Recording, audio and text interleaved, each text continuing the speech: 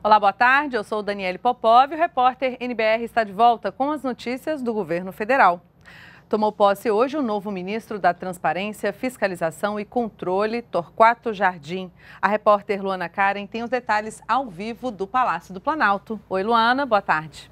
Olá, Daniele, boa tarde, boa tarde a todos. A cerimônia de posse foi aqui no Palácio do Planalto. O novo ministro da Transparência, Fiscalização e Controle, Torquato Jardim, assumiu lembrando que a construção da democracia passa pela transparência dos atos públicos. Em conversa com os jornalistas, o ministro Torquato Jardim falou sobre os acordos de leniência com empresas investigadas por corrupção.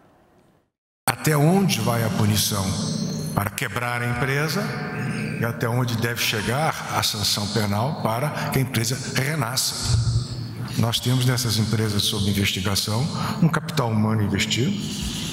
A maioria desses engenheiros, esses especialistas, foram formados em universidades públicas. Então, é investimento do orçamento público na formação deles. Né? E, e se eles podem, por algum mecanismo legal, retornar à atividade econômica produtiva, gerar emprego, gerar renda e fazer circular riqueza, esse é o objetivo da, da, da lei. Não é forçar uma, uma falência, forçar uma recuperação judicial. É trazê-la como um ente ativo, gerador de empregos, crescimento econômico. Claro, vai pagar um preço para reentrar no quadro legal da administração pública. E durante a cerimônia, o presidente da República em exercício, Michel Temer, disse que o Congresso Nacional tem dado apoio ao governo com a aprovação de projetos importantes, como, por exemplo, a prorrogação da DRU, a desvinculação das receitas da União.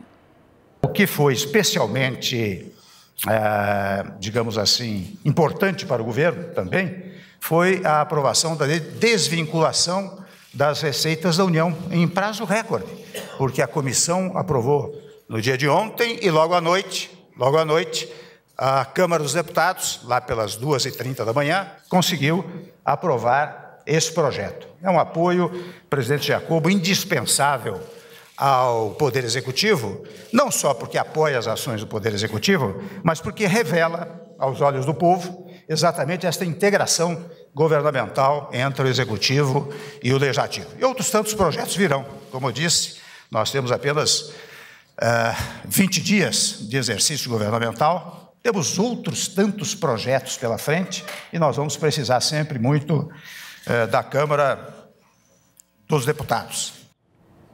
E ontem à noite, a Câmara dos Deputados também aprovou projetos de reajuste para servidores dos três poderes. Os ministros da Casa Civil e do Planejamento disseram que os aumentos dos salários já estavam previstos e que não vão atrapalhar o ajuste fiscal do governo. Reabrir essas negociações certamente levaria a uma crise de funcionamento do serviço público e dificilmente ou muito pouco provável nós conseguiríamos um acordo com índices menores. Haja visto que a inflação em 2015 foi de mais de 10%.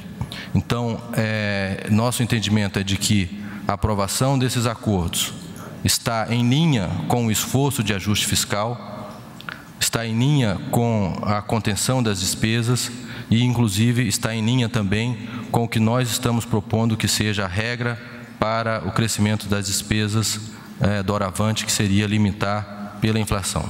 Esta era uma reivindicação que vinha já durante o governo anterior, durante vários anos. Em 2015 foi selado este acordo, que parecia bom e ficou melhor, por quê? Porque nós acabamos limitando agora o nosso crescimento de despesas e a, a, a vinculação com a inflação, o que não aconteceu nesse ajuste, que ele é menor do que a inflação que aconteceu e a inflação projetada. Então foi conveniente do ponto de vista administra político-administrativo. As carreiras foram atendidas. Segundo, é conveniente do ponto de vista do ajuste fiscal. Nós vamos ter uma variação menor do que aconteceria se nós tivéssemos que aplicar sobre o que era o salário, o que os vencimentos anteriores, aquilo que foi a variação da inflação. Então nós ganhamos por vários aspectos, daí porque a, a, palavra do presidente Michel havia dúvida no plenário, ligaram a ele pessoalmente e ele diz não. vamos sim votar, porque isto atende aos interesses da nação, nos ajuda no ajuste fiscal. Vamos agora ao vivo conversar com Thaisa Dias, que está no Ministério das Cidades, onde foi divulgado um balanço das ações da pasta. Thaisa, boa tarde. Quais são suas informações? Boa tarde, Daniele. O ministro das Cidades, Bruno Araújo, mostrou alguns números, apresentou alguns números que mostram a destinação de recursos do Ministério nos últimos anos. Ele fez isso citando alguns programas, como o PAC, o Programa de Aceleração do Crescimento, as obras de saneamento básico e de mobilidade urbana que o Ministério desenvolve aí junto às prefeituras e aos governos e também o programa Minha Casa Minha Vida. Segundo esses dados que o ministro mostrou, esses programas tiveram uma redução significativa de orçamento em 2016 e hoje não há recurso suficiente para executar tudo o que está prometido até o final do ano. Mas o ministro garantiu que o programa Minha Casa Minha Vida vai continuar. A tranquilidade que a população deve ter é que o programa segue firme. Esse ano já são mais de 200 mil contratações no, no faixa 2 e no faixa 3. No faixa 1, o governo afastado retirou uma soma de bilhões muito consistente do programa e vamos de um esforço coletivo, buscar e trabalhar pelo seu, pelo seu andamento e pela sua concretização. O Minha Casa Minha Vida segue firme, forte e é prioridade do governo avançar com ele de forma muito consistente. A pesquisa sobre o vírus Zika ganhou um reforço. Um edital lançado hoje vai destinar 65 milhões de reais para apoiar estudos científicos que ajudem a combater o vírus. O professor do Departamento de Imunologia do Instituto de Ciências Biomédicas da USP, Jean Peron, é o responsável por uma pesquisa divulgada no último dia 11 de maio, que confirma que a infecção pelo vírus Zika durante a gestação pode causar má formação cerebral congênita. A gente fica muito feliz de estar participando num processo como esse e de mostrar várias coisas. É, é, uma delas é mostrar que o Brasil faz ciência de qualidade e é muito legal, acho que é muito satisfatório para todos nós darmos um resultado para a sociedade que foi essa, essa questão da relação causal, né?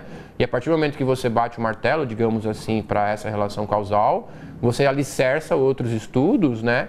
E, e, e dá, digamos assim, a base para que as políticas governamentais de fomento de pesquisa aconteçam. O laboratório onde Jean trabalha faz parte da Rede Zika, uma força-tarefa formada por mais de 40 laboratórios de São Paulo para pesquisar as causas e características da doença.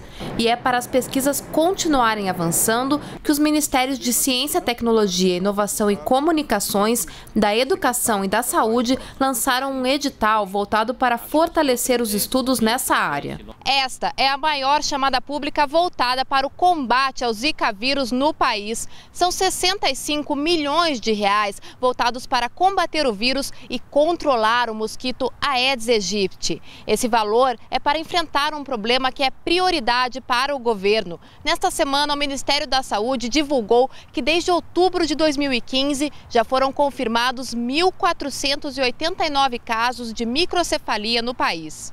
Agora é o governo oferecendo recursos para a nossa comunidade científica para que ela possa dar continuidade aos seus estudos, aproveitar resultados de estudos anteriores e, com isso, caminharmos para uma solução definitiva de enfrentamento desse vírus. Já o ministro Ricardo Barros afirmou que a produção de repelentes também será incentivada. O governo está fazendo o acompanhamento, está coletando os dados e nós colocamos no orçamento do ano passado 500 milhões de reais especificamente para o Zika vírus, que estão sendo distribuídos entre os nossos institutos federais de pesquisa para que eles possam desenvolver as vacinas e soro e outras possibilidades de tratamento para o Zika. E vamos tentar de forma muito definitiva agora a compra dos repelentes que serão distribuídos em toda a rede pública para as, as populações de risco e especialmente para as gestantes o Ministério da Educação liberou 396 milhões de reais para os programas nacionais de alimentação escolar e de apoio ao transporte escolar. O repasse já começou a ser feito aos estados, municípios e Distrito Federal. Esta é a quarta parcela dos recursos do Fundo Nacional de Desenvolvimento da Educação. O dinheiro para a merenda deve beneficiar 39 milhões de alunos de escolas públicas. Já os recursos para o transporte escolar vão beneficiar 4 milhões de alunos de áreas rurais. E por falar em educação, termina hoje o prazo de inscrição no Sistema de Seleção Unificada. Até agora, o SISU já registra quase 603 mil estudantes inscritos.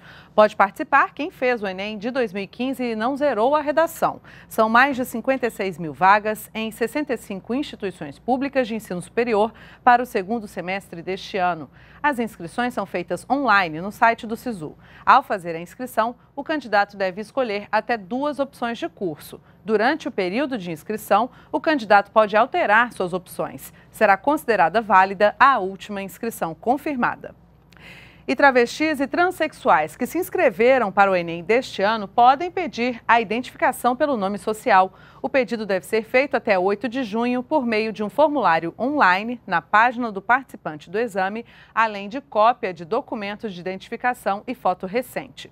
A possibilidade de usar o nome social no Enem foi aberta em 2014, quando foram apresentadas 102 solicitações. Na edição do ano passado, esse número subiu para 278 solicitações. Lembrando que as provas do Enem serão nos dias 5 e 6 de novembro. Nós ficamos por aqui, voltamos a qualquer momento com outras informações ou às 5 da tarde. Acompanhe também as novidades do governo federal em nossas redes sociais. Continue com a gente, NBR, a TV do Governo Federal.